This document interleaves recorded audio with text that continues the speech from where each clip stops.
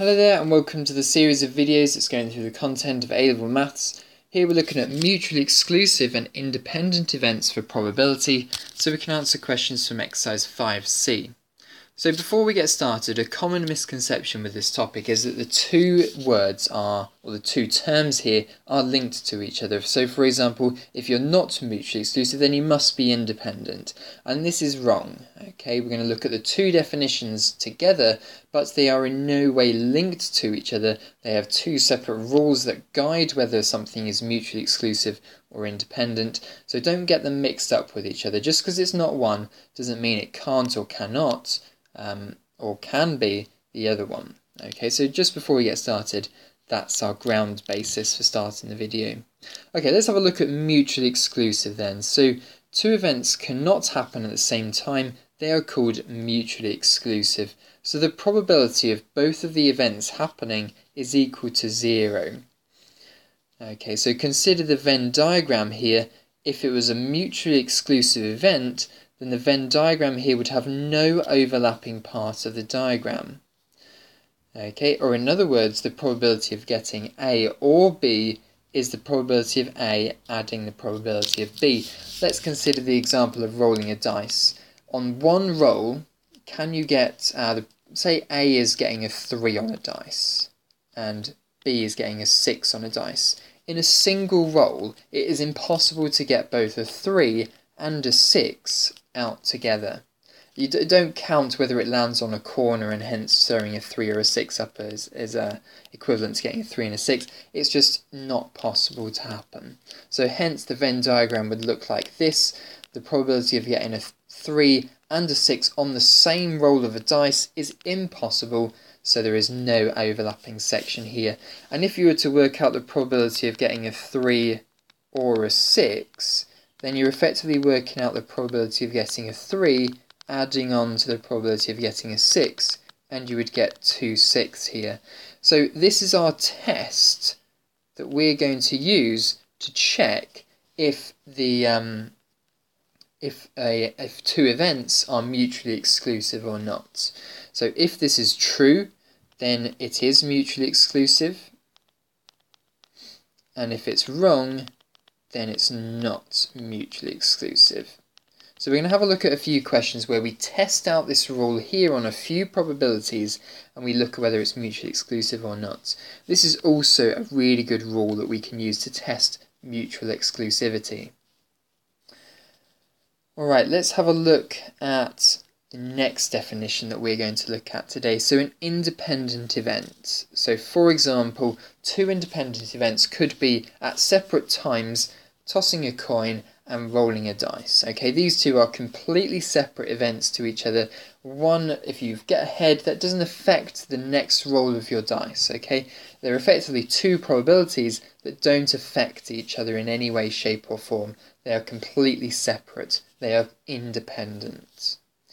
Okay, so for two independent events, the probability of A and B happening together can be calculated by the probability of A times by B. If there is a chance that one probability does affect the other probability, then this won't apply. You, you don't get the same answers out when you work out this calculation here. So for example, we could use here the probability of a head and rolling a 6 and in this case here, all you'd have to do is work out the probability of roll, tossing a head and times that by rolling a 6 and you would get 1 out of 12. 1 out of 6 times 1 out of 2. Okay, so there we are. So you've got two rules to remember here then. So mutual exclusive events, when you do the probability of A or B happening together, then it's just the probability of A plus the probability of B. And for independent events, it's the probability of A and B happening together will give you the probability of A times the probability of B. And if these calculations come out to be true, then we can imply mutual exclusivity or independent of events. And if they don't come out to be true, then we can um, we can say that it's either not mutually exclusive or not independent. And if we're told that it's mutually exclusive, then we can assume this. And if we're told that it's independent, then we can assume this. Alright, let's have a look at this in action then. So events A and B are mutually exclusive, so we can assume this theory, this uh, probability here.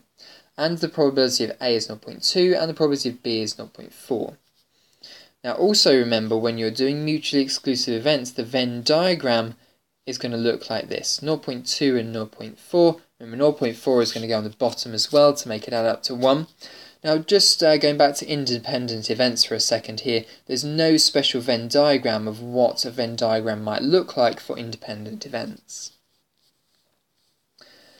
Okay, so calculate the probability of A or B, well that's just 0.6, adding together your two separate probabilities, and we know this formula is true from the fact they're ex mutually exclusive events. Let's answer another question now. Find the probability of A and not included B. Well, in this case here, it's just this part here because this is the only part of the circle here that is in A and it's not part of B as well. So it's just 0.2. The next question here is find the probability of not being in A and not being in B. Well, in this case here, it's just this part of the Venn diagram here, which is 0.4. I would remember that one here. Alright then, so events C and D are independent. So given that they're independent, we can assume this formula to be true here. Uh, we have no idea about whether they're mutually exclusive or not. Uh, calculate A, the probability of C and D happening together. Well, in this case here, that's easy. We can just times them together because we're given the fact they're independent. So we get 1 out of 15. So we can now construct a little Venn diagram here, and we can include probabilities inside a Venn diagram rather than just whole numbers or decimal numbers. So what we have to do next is we have to work out the other regions of the Venn diagram here. So what we have to do is to work out this region here is we have to do the probability of C, which is a third, take away 1 out of 15. So a third take away 1 out of 15 is 4 out of 15. And the probability of D is a fifth, so we have to do a fifth take away 1 out of 15. That leaves us with 2 out of 15. And the rest of the 15ths that will add up to make a whole probability of 1 will equal 8 out of 15. Okay, so we can now move on and answer some more difficult questions, such as the probability of C and not D happening. So it is in the circle for C, but not in the circle for D. So it's just going to be this 4 out of 15 value here. Part C is uh, the probability of not being in C and not being in D either. So that's just this 8 out of 15 down here. Alright then, so another question here now. We've got uh, three circles here, but A and C don't overlap.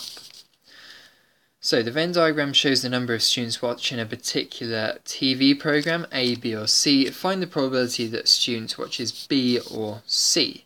So if they watch B or C, then they're anywhere within inside the B or the C circle. So it's this uh, so 30 students in total. We have 4, 5, 10 and 7 students here that are either in the B or the C Venn diagram circle. So that's 27 in total. So 20, sorry, 26 in total. So that's 26 out of 30. Part B is determine whether watching A and B are statistically independent. So we're going to have to check whether this theorem here applies. So the probability of A is 7 out of 30. The probability of B is 19 out of 30. Times in the two probabilities together, and we get, um, sorry, the, and the probability of A and B happening together is 4 out of 30. So I will check whether it equals 4 out of 30 afterwards. On the right hand side, probability of A times probability of B, 7 over 30 times 19 out of 30 is 133 out of 900, which um, when we compare it to the left, only has 120 out of 900. So the fact these are not the same means that they are not independent because we have shown that this um, this theorem here or this rule here does not apply to these events, hence it is not independent. Alright then. So then, uh, have a go at this question here then. Question 5 from exercise 5c. Pause the video and try this one out.